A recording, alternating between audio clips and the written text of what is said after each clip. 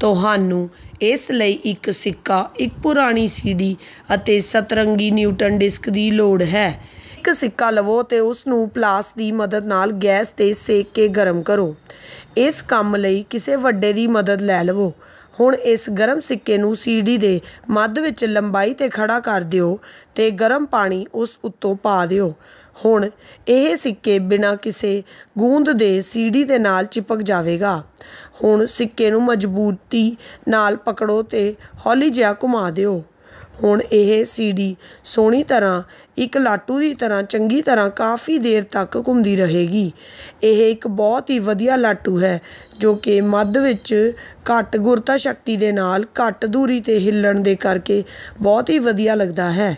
ਹੁਣ ਨਿਊਟਨ ਦੀ ਰੰਗਦਾਰ ਡਿਸਕ ਦੇ ਪਿਛਲੇ ਪਾਸੇ 'ਤੇ ਗੂੰਦ ਲਗਾ ਕੇ ਹੁਣ ਸੀਡੀ ਦੇ ਉੱਪਰ ਲਗਾਓ। ਇੱਕ ਵਾਰ ਫਿਰ ਸਿੱਕੇ ਨੂੰ ਫੜੋ ਤੇ ਸੀਡੀ ਨੂੰ ਘੁਮਾਓ। ਸਾਰੇ ਰੰਗ ਮਿਸ਼ਰਿਤ ਹੋ ਜਾਣਗੇ ਤੇ ਤੁਹਾਨੂੰ ਸਲੇਟੀ ਰੰਗ ਦਿਖਾਈ ਦੇਵੇਗਾ। ਜਿਵੇਂ ਹੀ ਸੀਡੀ ਹੌਲੀ ਹੋਵੇਗੀ, ਤੁਹਾਨੂੰ ਕਈ ਖੂਬਸੂਰਤ ਰੰਗਦਾਰ ਪੈਟਰਨ ਦਿਖਾਈ ਦੇਣਗੇ।